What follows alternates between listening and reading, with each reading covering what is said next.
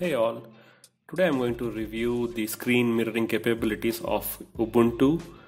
Uh, we can stream the screen of Ubuntu using the cvlc command using a VLC media player command and you can stream the video onto the port 8888 on, on the path mirroring as I'm showing you on the screen here. Uh, I'm going to put this command on the link below so that you can make use of this command exactly in case you are not able to figure out what's going on here. Now when I hit enter, the entire screen is getting casted onto that port 8888 and path mirroring. Now make sure you note down the IP address because on your smartphone you're going to give the same IP address as this one 192.168.0.105.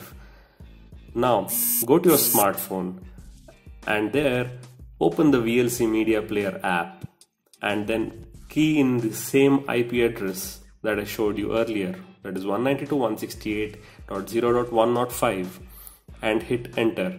But before that make sure that both your smartphone and your Ubuntu PC are connected to the same Wi-Fi network as in this case. Now hit enter and what you see is immediately you will see something like your screen from the Ubuntu PC is getting getting mirrored onto your smartphone. You can see the same windows that were there on the Ubuntu PC and you can also see the IP address here that is being shown at 192.168.0.105.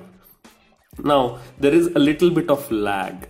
Uh, when I say lag, there is at least like a one second to two second of lag, but you do not see it when you are not playing any audio or something. Like I go to this YouTube and I am playing this this particular video, I do not see any lag because it plays continuously without any any problem as such but the moment you turn on the audio you you realize that there is one second to two second of lag. That's the only problem i saw with this. Otherwise if you're playing any stills if you're playing if you are casting some of the web contents or anything like that you will not see any problem.